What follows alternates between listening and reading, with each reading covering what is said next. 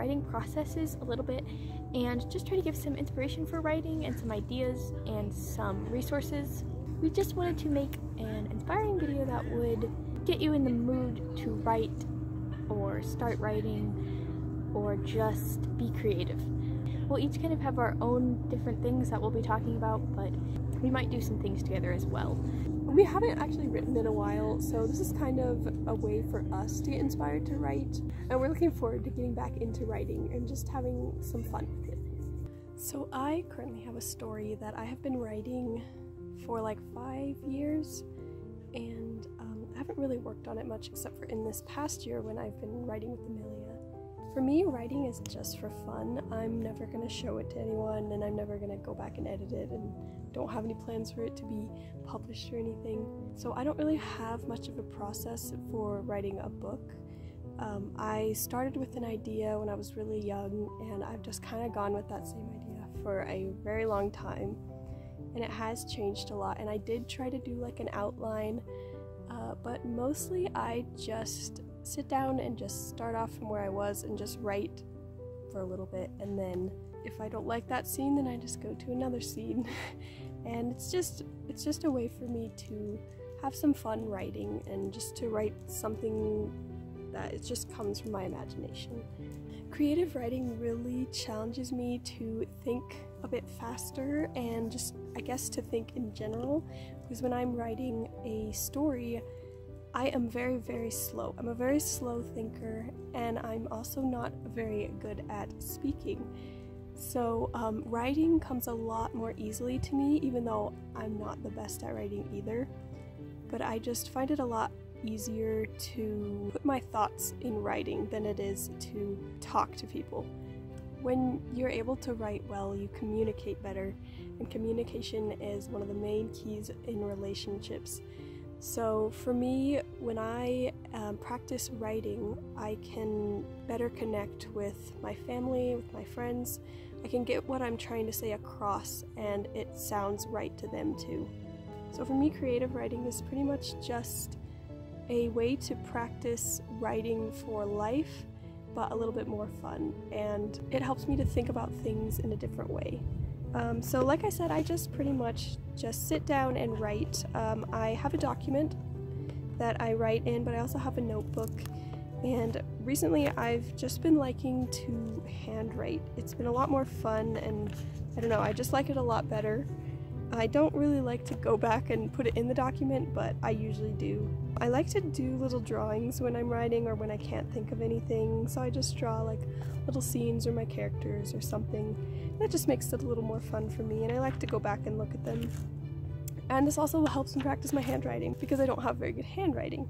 I don't write very much at a time. I usually only write like two or three hundred words in the time it takes for Amelia to write like a thousand.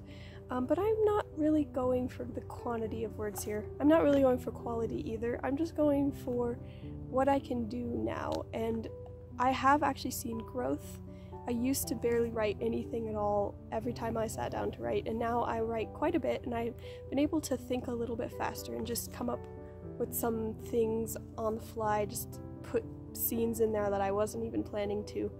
Um, so it's been a lot of fun writing with Amelia. I mean, we don't talk to each other, but we're just sitting next to each other, and it's just kind of nice to have a companion as you write. And yeah, that's kind of my process is just to write. I don't really plan. I really like to make characters, and I have way too many that I haven't even used in my book. But it's just a lot of fun to create new people and um, to just think about backstories and to add little fun details and stuff like that.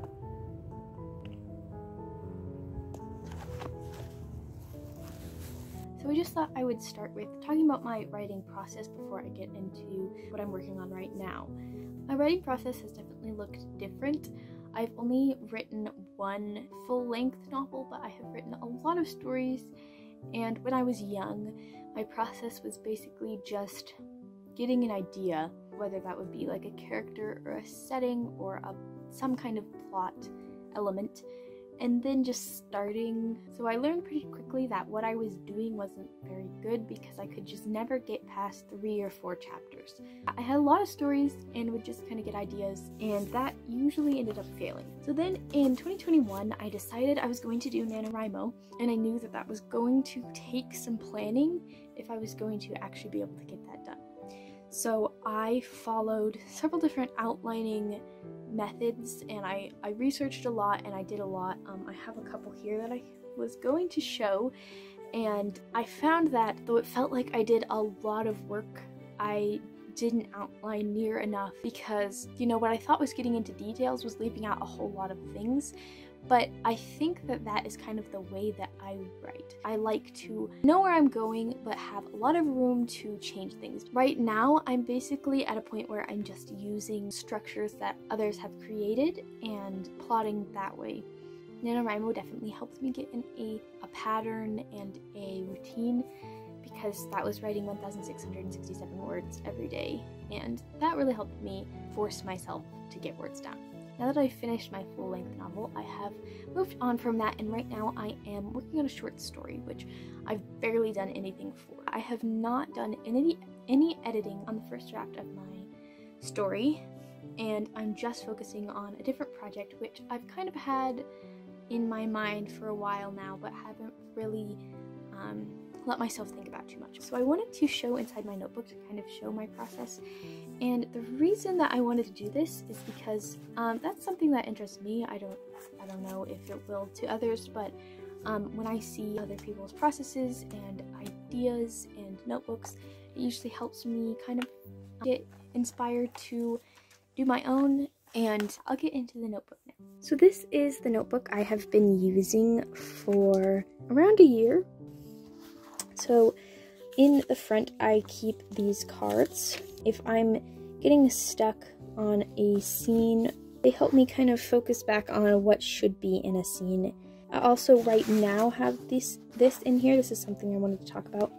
Um, I will have this linked if anyone would like to look at it. It is a um, basically three act story structure that has helped me um, with plotting, and I can link that below because it is a free thing that I've printed off several times.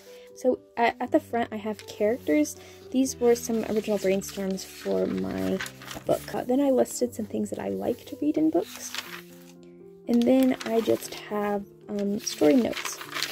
So now I have questions that I made for my book and also answers. So there's just tons of questions But yeah, just a lot of just writing, trying to figure things out is what I was doing here. And that's kind of where I start. Um, I just write out any thoughts that I have, and it's hard to come back to them and look at them, but it helps me at the time. Then I just have some really bad uh, character sketches and just trying to figure out characters and really uh, understand them and get to know them and figure out all the stuff about them. This is just a page I did of characters. Here I took a book and just went through it and wrote out everything that happened to kind of see if it followed a certain plot method. Here I'm writing out um, themes. Here is my new story idea stuff. Um, here I wrote down um, stuff that I wanted to include, just lots of ideas that felt like what the story would be. And then I wrote down some themes, some goals with the book. Here I did like a character journal entry then on the last page, I um, just have something for our blog, actually, for this post that we were doing just because we're camping and I did not bring my blog notebook. Um, so that is everything that is in it. And then in the back here, I kind of made like a pocket that I used for, for the um, novel that I finished. So this was kind of one of the first things I did. I can link this as well. Um, I also just have a lot of other stuff. This was something for blog. This is just figuring out things. So that's just what I keep in the back, all of the loose stuff. So yeah, that is everything in this notebook. But one of the things we also wanted to talk about in this post is the reason why we write, because we thought it would be something good to be thinking about since it's kind of just something we do. I mean, I feel like when I was thinking about this, the main reason why is just because I've always done it. I don't remember a time when I haven't been writing some story. I feel like that's not a very good reason, but it is one of the main ones. It's just what I've always done, and it would just feel weird not to. I've always liked it because it challenges me to really think about words and um, how I'm using them and how I can use them effectively and um, how I can create these things that I've always liked to read. It really helps me to get out thoughts that I have that otherwise are really hard for me to verbalize or think through, and writing has been helpful in that way. Um, I kind of wrote a post about why I like to write and why I do it, um, which I can link because I thought through my answers a little better in that. So I think that is everything that I'm going to be talking about for this part of the video. I think we have a few other things planned, which I'm excited about because uh, I haven't actually written on this trip yet.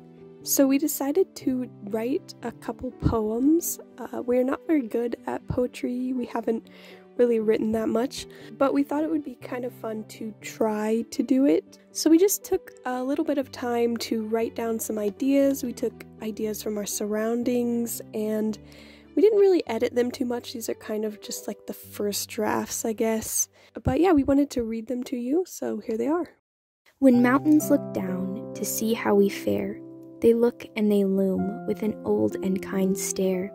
They see broken wings, they hear burdened cries, they felt what you broke, their tears filled the sea. From crooked cracks and thorn sharp wounds, they felt a thousand trodden steps.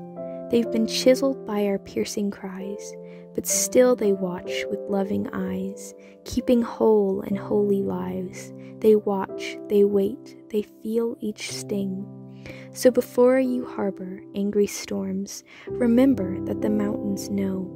They feel the beauty heartbreak stole. So many pieces we have carved, but still they stay so perfect whole. A chirp awakens the sleeping sun, and he makes his slow way above the hills. A single golden glimmer upon the water gives us a glimpse of what is to come. Not now, but later. For now it's cool and pale and gray. For now it's blank and ready, waiting. Softly, softly, the sun will climb over tree and grass and flower, over rock and branch and bird and bloom then it bathes our heads with golden crowns, closed eyes turned towards yellow rays, hands clasped, souls stirring with warmth, with light, with emptiness, with readiness, waiting to be filled. Now the sun is hot and bakes the ground, trickles through trees, shimmers on water, spreads its light in patterns on the floor. The sun and the wind chase and twirl and dance across sparkling waves, through rustling branches, blowing here and there. You can hear their joyous laughter, loud, bright, hot, contagious, and happy, like a fire blazing bright. And now the sun waves a slow goodbye, one last frolic, one last dazzle before slumber. Pink clouds and blue skies turn swiftly vibrant, red and orange, yellow, pink. Softly, softly, he fades behind the darkened mountains, paler and paler. Farewell once more. His friend now reigns, cold and deep and beautiful, a shimmer in the darkness, a sweet, refreshing peace upon the water, a cool drink inside my sun scorched soul.